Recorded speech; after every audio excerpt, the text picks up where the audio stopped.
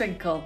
Today we're going to have a look at the Christmas tree weaving papercraft activity that we have available to download on our website. Using the skill of weaving, children can make their own Christmas tree. This is a really fun activity and it gets those fingers working. Shall we make it?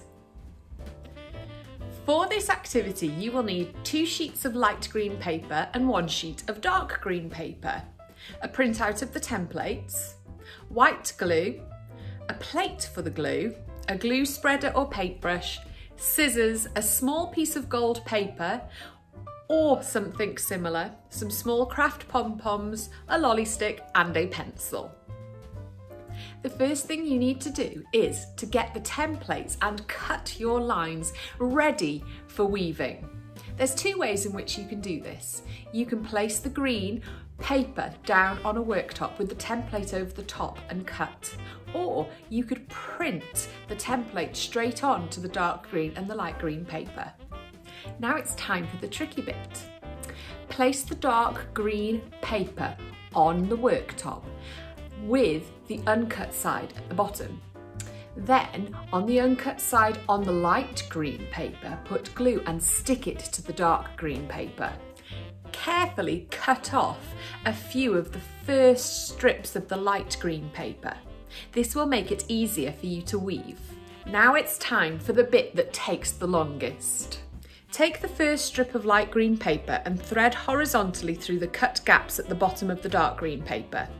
The strip should go under the first piece of paper and over the following piece of paper, following this under over pattern until the strip is through all of the gaps.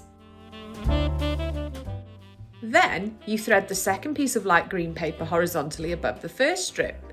This time the strip should go over the first piece of paper and under the following piece of paper. You need to keep doing that until all of the paper is weaved. It can take a little bit of time. Once you've done that with your plain piece of light green paper, you want to glue that over the top of all the weaving and let it dry. Using the triangle template, cut a triangle out of the paper weave. It shouldn't move because you've stuck the green piece of paper down to it. You now have your tree shape. It's time to decorate. You can use the things described at the start or you can create your own decorations. Here, instead of pom-poms and a gold star, I've used some foil and some stickers to decorate my tree. Simply attach the lollipop stick and you have your tree. You could use this in a play activity or you could add string and use it as a lovely decoration. This is just one of many craft activities that we have available on our website, so why not check them out? I'll see you again soon. Goodbye.